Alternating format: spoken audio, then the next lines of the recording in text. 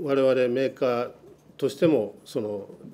団体で第三者にお願いをしてるし高田さんも第三者に、研究をしていただいてるし我々個社としてもいろいろやってるという中でその真の原因究明についてはまだまだ時間がかかるかなという大きな悩みを抱えております。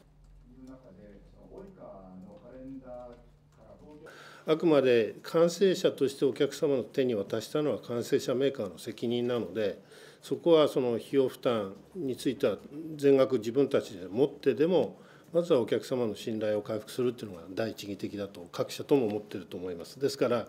そのお金の問題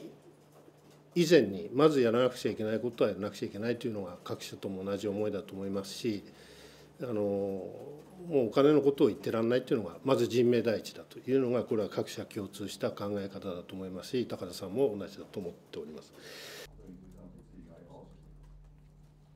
リコールに関する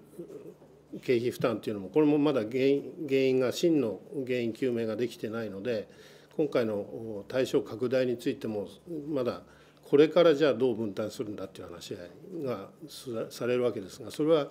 真の原因が究明されない限りはあのなかなか決まらない話ですのでまだまだこれについても時間がかかると。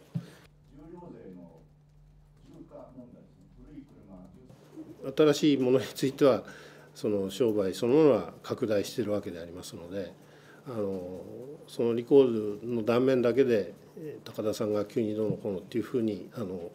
一足飛びな見方はしない方がいいかなと思っております。you.